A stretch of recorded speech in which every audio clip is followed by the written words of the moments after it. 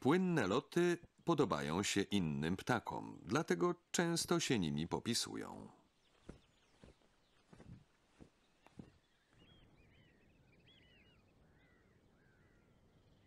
Gdy startują w konkury lub trenują swoje młode, błotniaki dają pokaz akrobacji. Małe są całkowicie zależne od rodziców.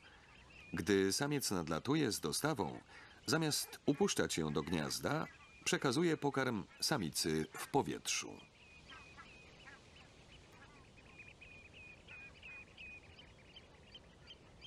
Podano do stołu.